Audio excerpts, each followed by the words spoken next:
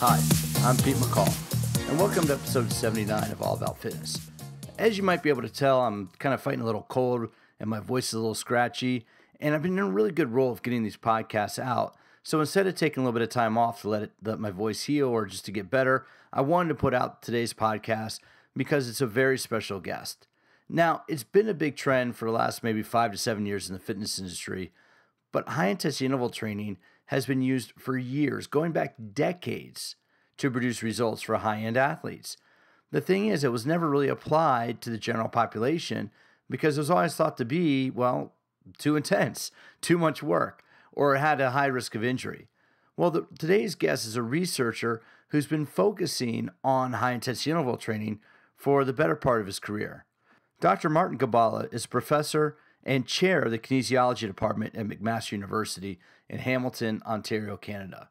Now, Dr. Gibala has been researching high intensity interval training not just for performance athletes. That's where most of the work was done for years. How can we use HIIT training or interval training to help athletes get better at their at their sport? But what Martin has been doing is he's been looking at high intensity interval training for you, for the average for the general population.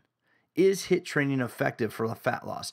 Is HIIT training effective for fighting chronic disease like diabetes? So, in this episode of All About Fitness, it's my pleasure to introduce Dr. Martin Gibala. And after a brief word from the sponsor of All About Fitness, we'll be discussing high intensity interval training and how it can help you improve your health, lose weight, and achieve a variety of different goals.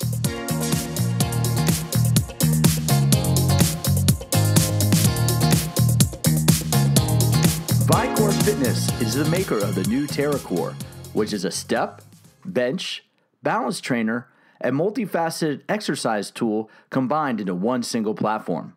Go to vicorefitness.com to see the newest piece of equipment that'll be taking the fitness industry by storm in 2017. Use the code AAF to save 20% on purchasing a TerraCore of your own. TerraCore by Vicore Fitness. Vicore Fitness. Better results from better products.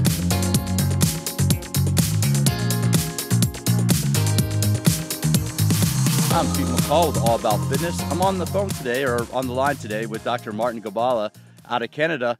Um, Marty, can you give us a little bit of background about what it is that you do and kind of the work that you've been doing? Uh, sure. I'm a professor and the chair of the kinesiology department at McMaster University. We're in Hamilton, which is about an hour outside of Toronto. Uh, I've been here for about uh, 17 years. Uh, I teach uh, and conduct research uh, related to the body's adaptations to exercise, uh, we do both applied human performance studies and we do very basic molecular work looking at how skeletal muscle responds to the to the stress of exercise. And how did you get interested in the first place? I mean, were you an athlete growing up, or what, what was your what what kind of uh, sparked your interest in exercise science?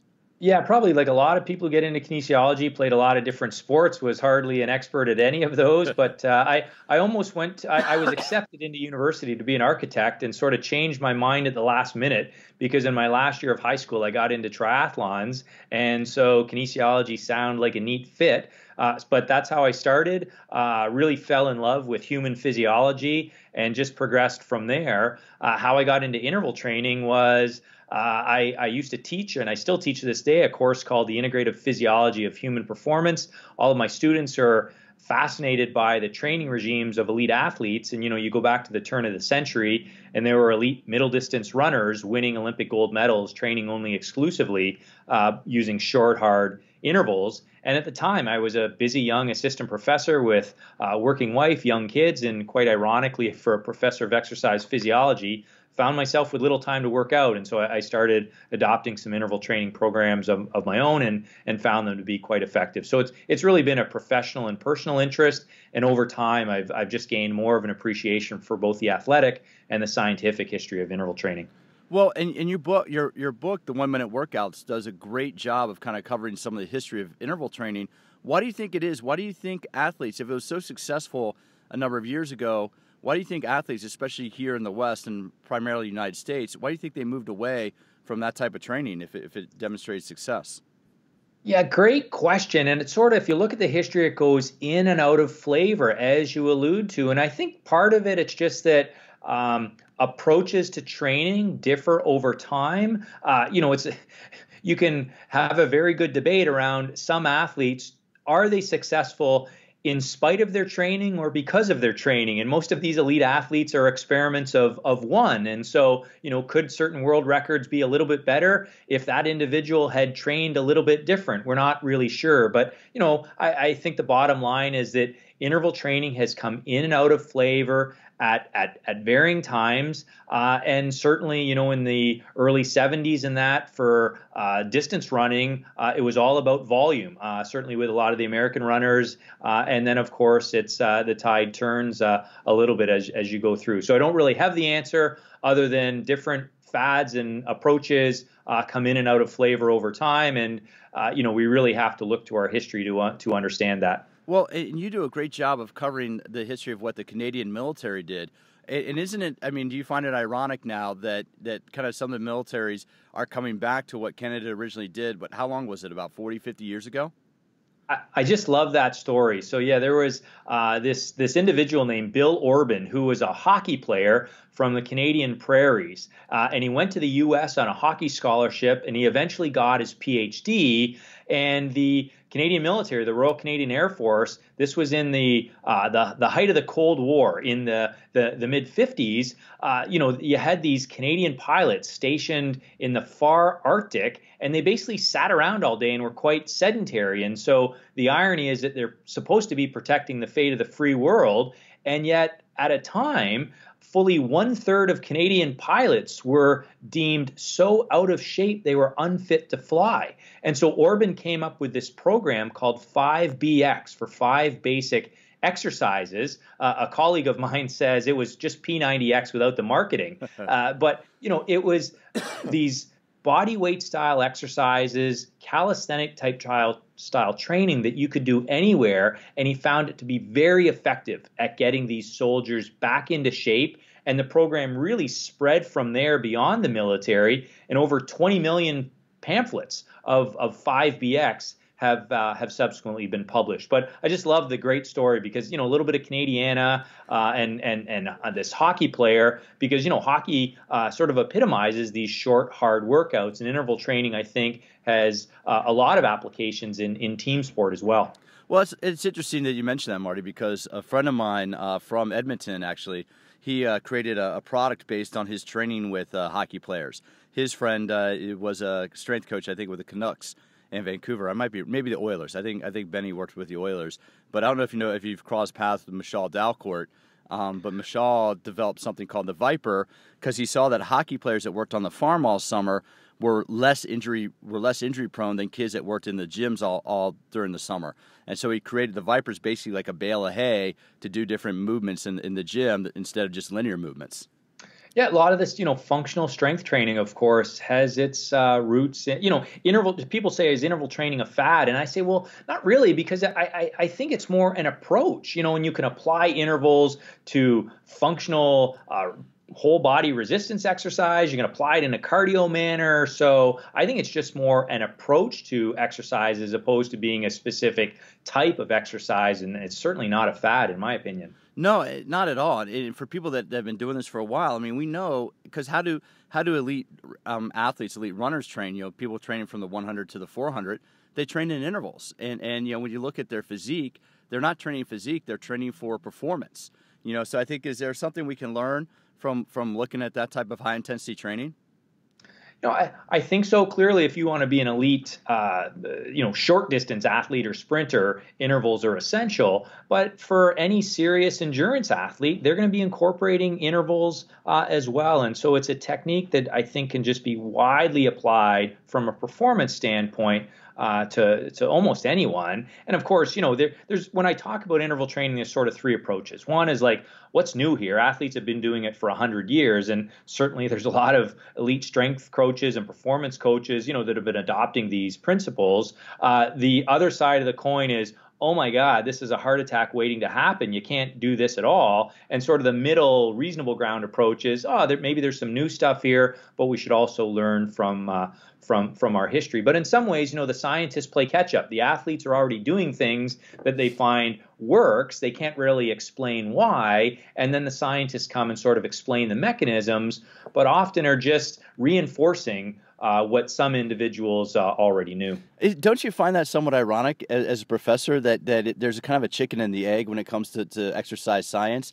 That you, you'll see something become popular in a gym or become a popular fitness trend, and then the researchers will come along and then try to understand that. Is that do you in your lab? Do you try to kind of just go after stuff that interests you, or do you see main stuff that's gone mainstream and then try to explain why it's working or what's happening in the body um, from doing that type of exercise?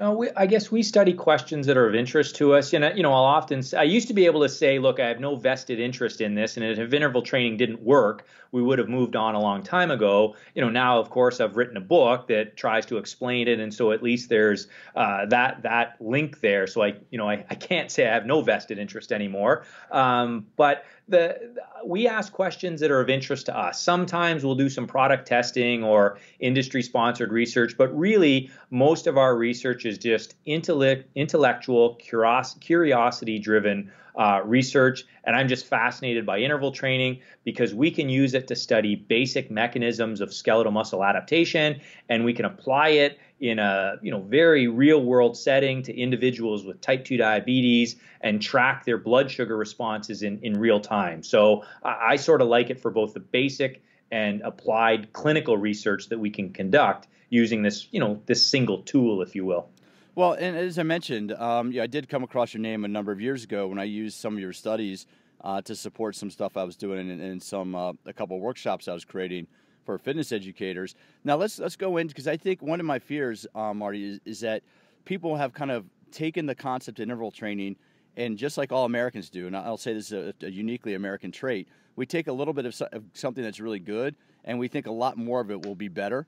So, what is really what's when it comes to interval training? What's more important? Is it duration or is it intensity? And and how can we explain that?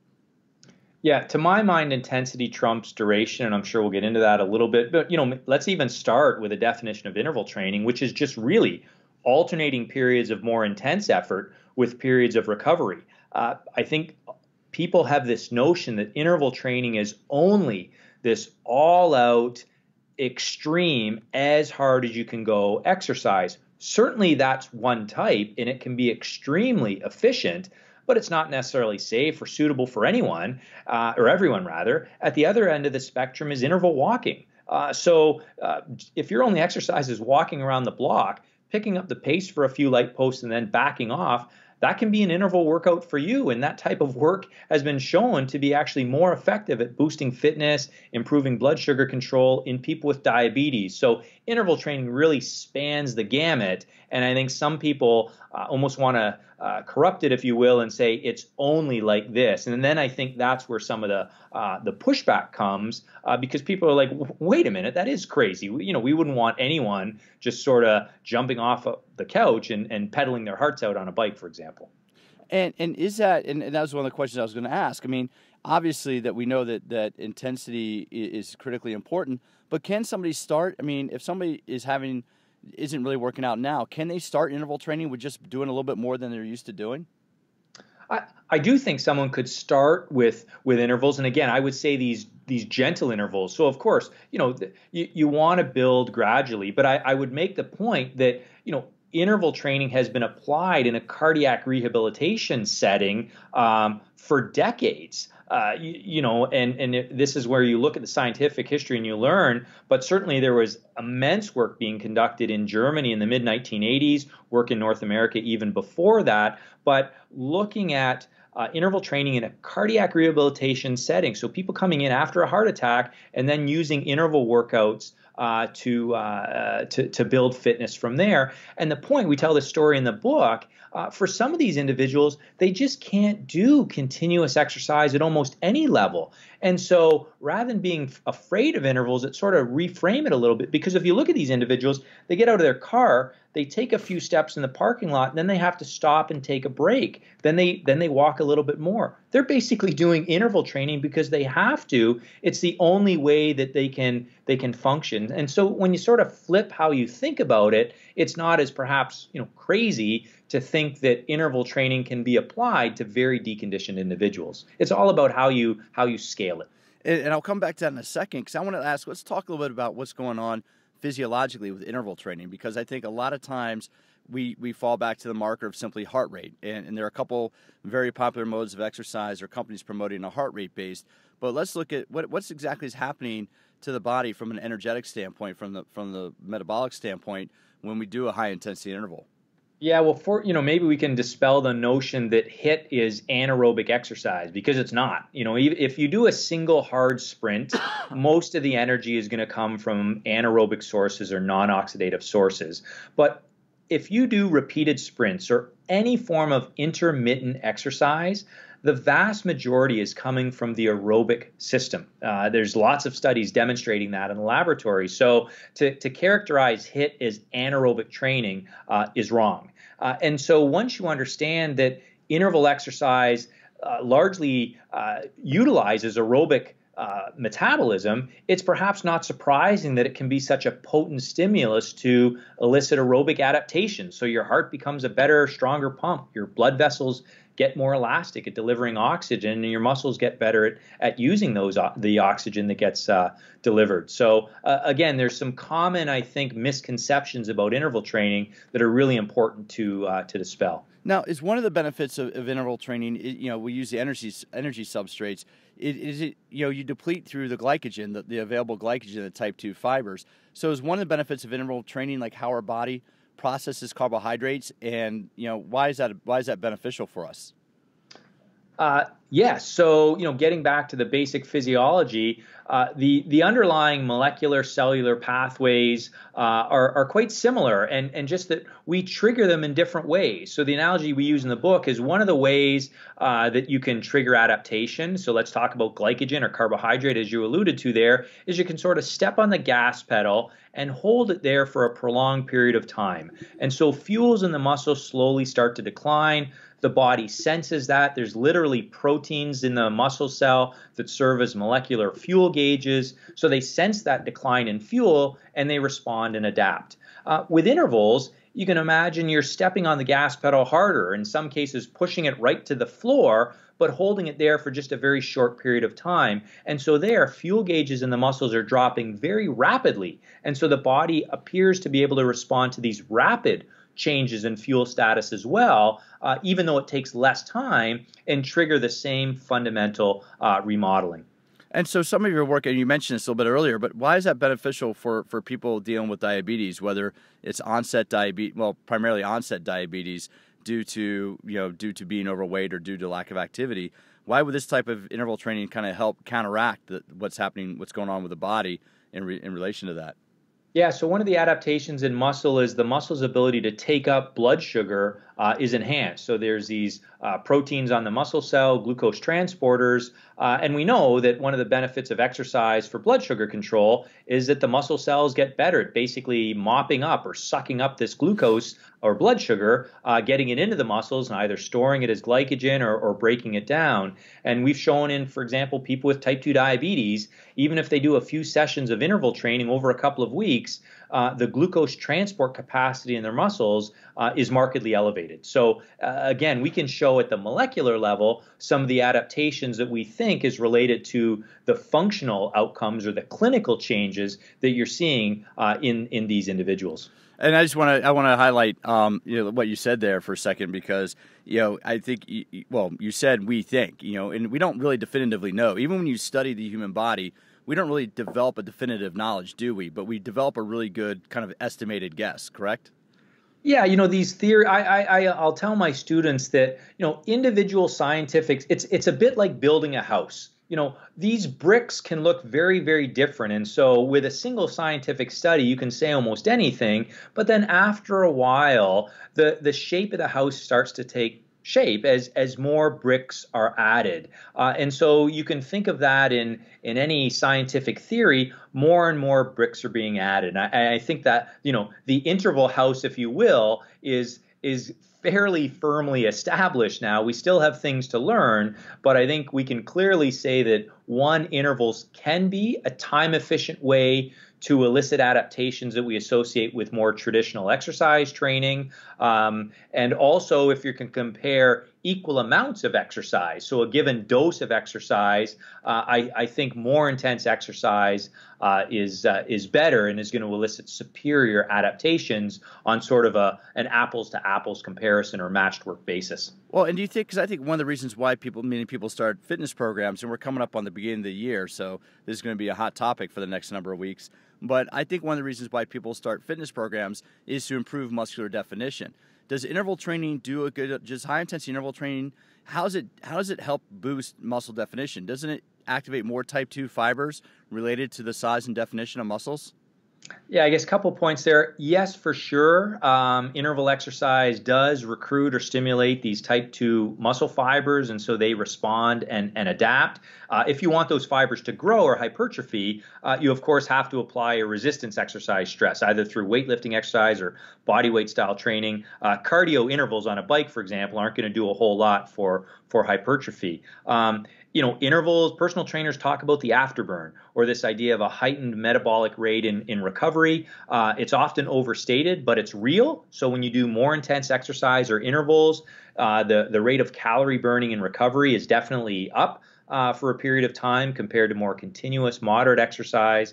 Um, and so intervals, you know, like any exercise, can support weight loss, um, but clearly the biggest driver there is uh, is nutrition. Whether it's 90-10 or 80-20, we could debate, but uh, you know it's a lot easier to control the energy inside of the equation when we're talking about uh, body mass, body composition. So, eh, so that that kind of comes back to that statement that that abs, for people that are interested in that, abs are made in the kitchen, correct? yeah, ab- absolutely. Yeah, because I think I think a lot of people will sometimes they look to they, you know, they start an exercise program, think it's going to change everything, um, and then if they don't change their diet or don't change other habits, then it's not really going to uh, change that much at all, unfortunately. Now, uh, let me ask you: Is it safe uh, for for people that that get into their 40s, 50s, 60s, for people that get a little bit more mature, to use that term, is interval training safe for them, and is high intensity interval training um, itself safe for for people throughout the aging process? Yeah, so a couple of key points here. And the first, I'd come back to this idea that interval training is infinitely variable. And so it ranges from interval walking to short, all out maximal sprints. So that'd be point number one. Point number two is interval training has been widely applied now to individuals, older individuals into their 80s, uh, individuals with type 2 diabetes, metabolic syndrome, obese individuals, uh, heart disease patients, uh, and shown to be beneficial. Uh, now, that being said, at an individual level, it's important to see your doctor uh, to assess any potential underlying risk factors uh, that that you may have. So, you know, again, at the individual level, before you change or begin an exercise uh, regime. It's just common sense to see your doctor and, and get checked. But people don't need to be afraid of, of intervals. You know, we'll read in the paper, certainly in Canada, we'll see these stories, high profile stories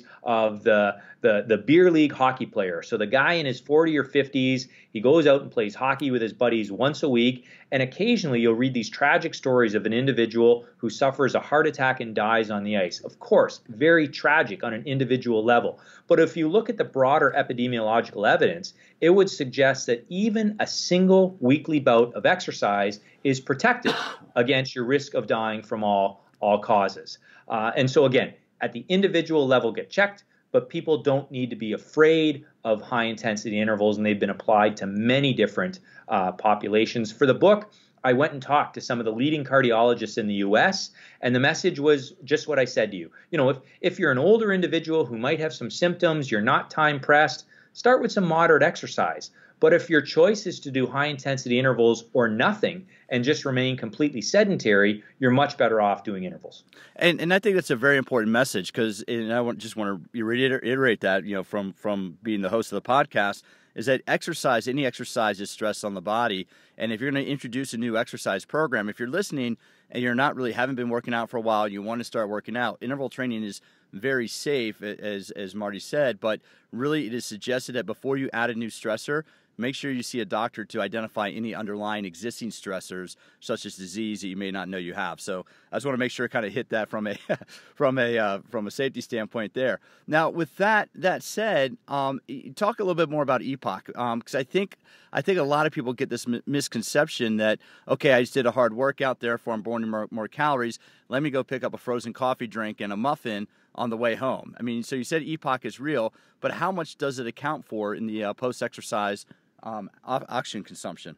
Yeah, so you know we've done studies in the lab where we've looked at this, and so for example, a 20-minute session of intervals may result in the same calorie burn over 24 hours as a 50 minute session of continuous exercise. Now, that of course depends on the specific intensity and everything like that, but suffice to say, intervals can be a time efficient way to burn calories. Um, but there we're talking about maybe 300 calories with each of those uh, workouts in, in in total. So you know when you consider that a donut may have 250 or 300 calories, uh, it speaks to this idea of you know the the energy inside of the equation being uh, important. And so when it comes to afterburn, you know if you look online, you'll see these massive EPOCs drawn or these massive amounts of uh, afterburn. It's actually quite small. You know the the uh, energy expenditure remains elevated for a, a, small amount of time in recovery uh, that you know that may last for a couple of hours but we're literally talking here you know 10 15 calories an hour higher uh, than than basal metabolic rate. So uh, you can't uh, it's often overstated and in fact the EPOC is actually quite small um, but these little changes add up over time. You know, if you do the math on a typical individual who gets out of college and perhaps puts on 30 pounds over the next 30 years or so, you do the math and it's maybe a half a teaspoon of sugar uh, a day in terms of the calorie differential. So these small uh, amounts really add up over time, whether it's uh, energy expenditure or, or energy gain.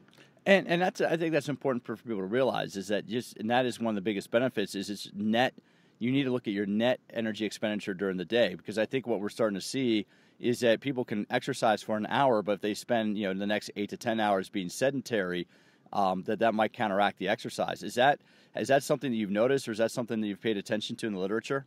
We're increasingly interested in this idea of exercise snacking, uh, taking some clues from continuous work that's out there. So, for example, there's been studies that have compared uh, 30 minutes of continuous exercise in a single session or three 10 minute bouts of exercise spread through the day. And the evidence, uh, at least the preliminary evidence, would suggest actually the, the exercise snacking or breaking up the workouts through the day may be a little better for you in terms of uh, blood sugar control, in terms of blood pressure control. And it probably relates to what you alluded to there these prolonged periods of sedentary behavior, prolonged periods of muscle inactivity uh, is, is bad for us. And so now we're starting to look at what if we break up the one minute workout into even shorter, uh, more frequent bouts of exercise uh, through the day? Do you get the same gains in fitness and, and things like that? Because this concept of exercise snacking, it resonates for a lot of people because it's a lot easier to fit in these shorter, more frequent workouts through the day. And when I say workouts, these are things that can be done anywhere. You know, a set of air squats in your office,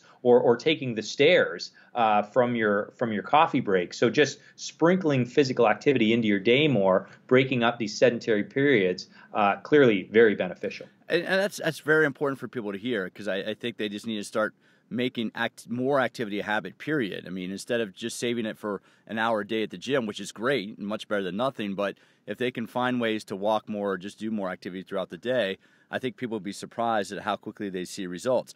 Now, just one or two more questions, um, you know, before we finish up here. Is interval training are the adaptations specific to the muscles involved? Meaning that if you're only doing cycling or you're only doing sprinting, are your upper body muscles receiving any benefit from high intensity interval training? And is that a reason for doing maybe some boxing or some heavy rope work to incorporate the upper body muscles as well? Yeah, boy, that could be a whole podcast. Uh, and and so you know, generally speaking, uh, if you're a cyclist, you're not getting much adaptation in the muscles of the uh, upper arms, for example. So they're not becoming more uh, uh, aerobic. Uh, but we're increasingly learning more about these systematic factors that may circulate. So you know, how when we do exercise is our skin more pliant and younger looking. You know, it's related to these circulating factors. Uh, uh, my colleague Mark Tarnopolsky talks about exerkines. So basically, these hormone like substances that are released from muscles and may circulate and impact on, on, other, on other tissues. So clearly, there's some systemic benefits of exercise, regardless of how we do it, that, that we're learning. Uh, but from a, you know, um, a, a, performance uh, standpoint, the the principle of specificity still largely holds. So if you want to be a good cyclist, you got to spend a fair bit of time uh, cycling. There's some trade-off there, you know, and the old phrase that your heart doesn't know what your muscles are doing is is also true. So you can get cardiovascular benefit whether you're doing cycling or swimming or running or elliptical. Uh, but for sport specific training or for performance adaptations, I think this, the, the specificity principle uh, still holds. And, and, that's an, uh, again, that's an, just an important message to reinforce. Now, now, finally, you know, your workouts that you promote are are relatively short. And since reading your book, you know, picking it up and reading it and, and preparing for this, I've just been playing around at the gym with a couple different intervals 30 30, um, meaning 30 seconds really hard and 30 seconds relatively easy, and then 30 20 10, meaning 30 easy, 20 moderate, and 10 really an all out effort. And is some people might not believe that doing only five to 10 minutes of that can provide benefits, but but that's the case, right? Just doing short intervals, as long as they're high intensity, really can provide. You don't need to go that long. 10, 12 minutes would be more than enough to provide a good workout, correct? Without question. You know, where the title of the book, The One Minute Workout, comes from, it's from studies where we've had people do three 20 second bursts of very hard exercise. Now, that's normally set within a 10 minute total time commitment, including warm up, cool down, and some recovery periods. But we've shown that people who do those three 10 minute sessions a week um, can get the same benefits, at least over a couple of months, as people doing 150 minutes per week of continuous moderate exercise. So we're talking here the boost in their cardio fitness, the improvements in their blood sugar control, and even some of the changes, the molecular changes in muscle, even though the interval trainers are doing five-fold less uh, time commitment. So unquestionably, these short, hard intervals can be very effective. It's not the only way to train. It's not for everyone. Uh, responses are highly individualized, but short, hard workouts can be very, very effective to elicit the adaptations we associate with a more traditional approach. And then how many times a week? I mean, what's your recommendation, especially for somebody in their 40s or 50s? It's it's not something they should do every day. I mean, could they do it every day or how should they structure and allow for, for recovery from the workouts? Yeah, you know, most of our studies have people doing intervals three times a week. I, I think variety is best, right? So at the individual, you know, I, am someone I, clearly I like intervals, but I still like to go for a walk with my dog in the woods, right? So it's variety is best. Um, you know, I'll, I'll, it's like it's like investing your money. Uh, you can buy one stock and maybe hit a home run, or it might go bust as well. And so the the best approach is spread out the risk a little bit, or use a varied approach to investing because that's probably going to be your best payoff in in the long term and and minimize uh, risk of of nothing happening. So I, I, think when it comes to exercise, it's much the same approach. Um, you know, but it, now if you're someone who absolutely hates intervals uh, and you find them very uncomfortable, I can talk to them blue in the face and you're not going to adopt it. So maybe continuous moderate exercise is best for you. Uh, at the other end of the spectrum, there's some very busy type A, time pressed executives who do their training almost exclusively using intervals and it works for them. So it's it's highly individualized and I think a varied approach to fitness is always going to be your best bet. The best exercise for you, something you like, enjoy because you're more likely to stick with it over the long term. And that, that's such an important message. Well, uh, Martin Gibala is a PhD out of in your McMaster University in Canada.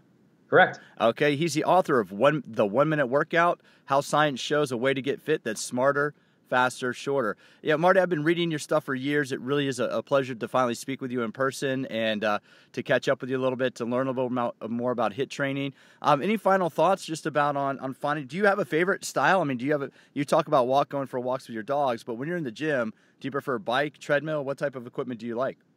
Yeah, so I, uh, I, I used to be a track runner, and and so now I'm almost 50. I have uh, knee arthritis, and and so uh, cycling is my go-to cardio exercise. Uh, I'm still able to skate, and so later on today I'm going to head to my uh, weekly pickup hockey game with uh, some of the uh, other faculty members here at McMaster. So I try to take a varied approach to fitness. I rarely go to the gym, and that's because uh, I basically have set up a power rack in my basement. I find it works for me, right? Uh, I have kids, busy life, like a lot of other people. So for me, uh, having a, a, go-to exercise of cycling indoors during long Canadian winters, uh, outdoor on the trails near my house in the summer, sprinkle that in with uh, some some lifting and bodyweight style stuff, and uh, that's what it, I find works for me.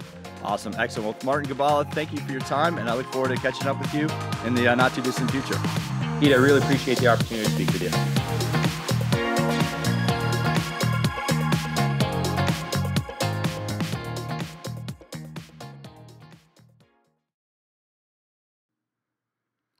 Well, hopefully you enjoyed that conversation as much as I did.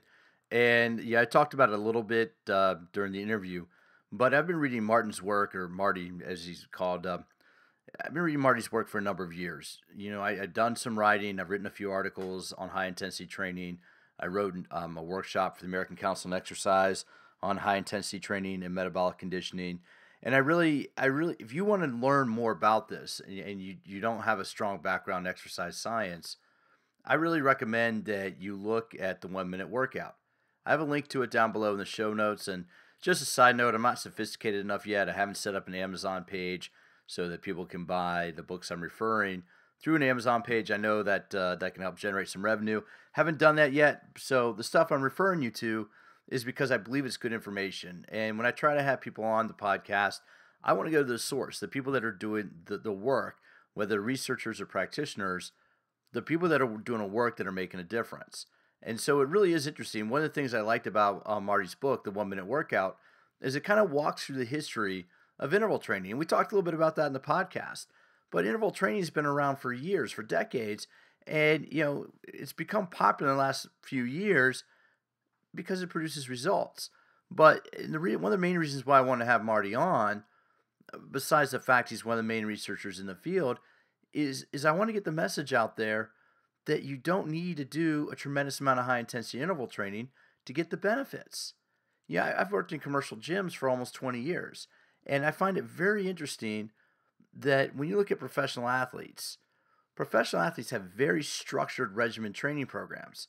And and I'll use professional football as an example because professional football only plays one game a week.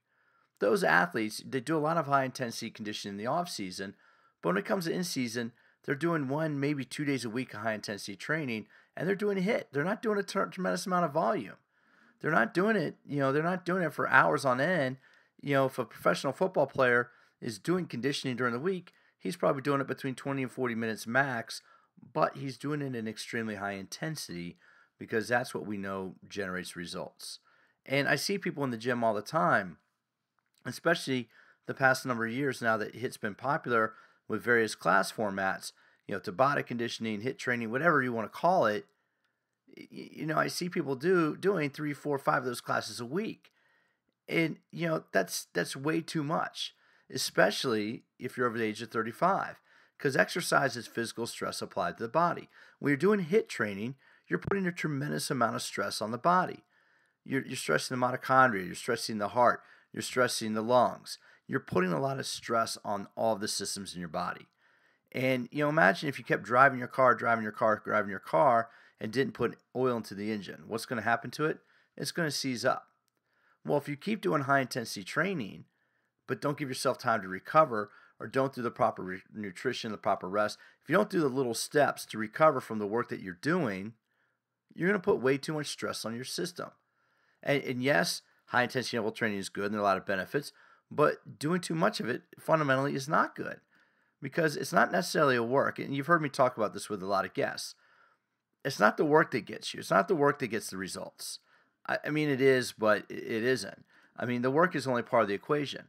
It's what you do after your workout that makes a significant difference on whether or not you're going to see the benefits from exercise.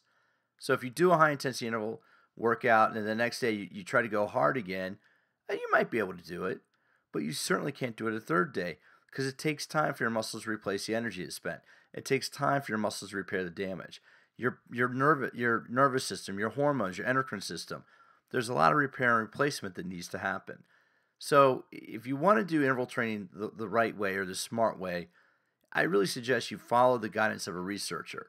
You know, as you heard us talk about, he's been looking at, at at unhealthy populations. He's been looking at sedentary populations. We know that HIIT work training works for athletes.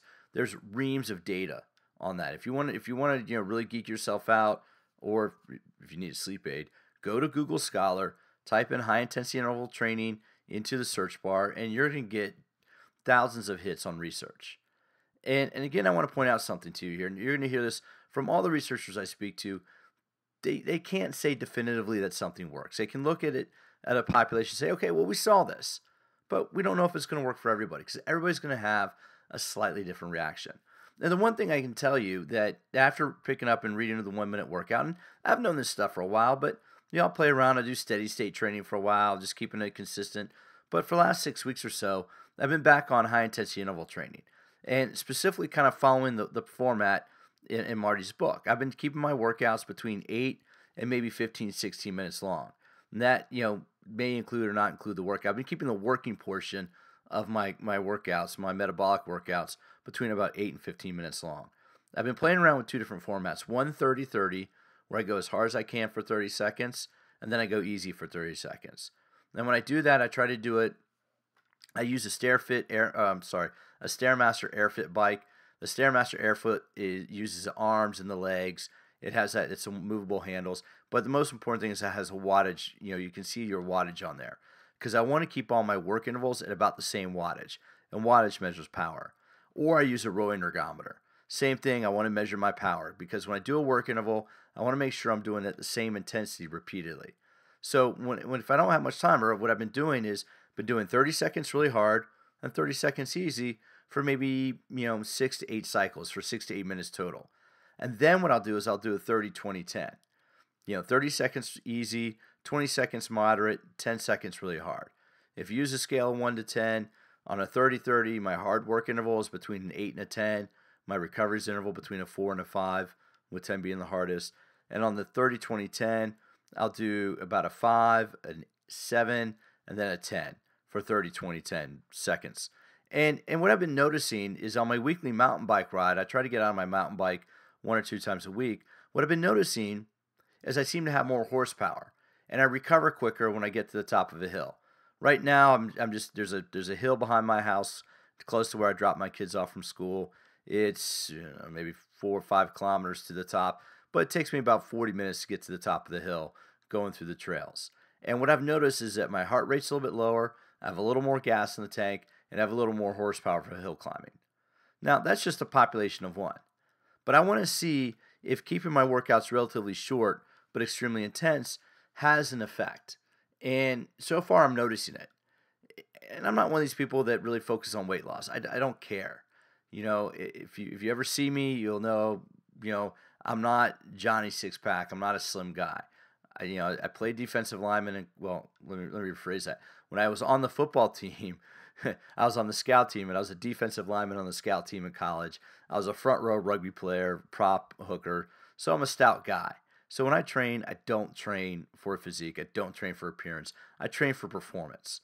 And that really is what I pay attention to. So if you're looking for a type of training that's going to produce results, whether you want to do it for performance or let's face it, appearance is a lot of nutrition intake based.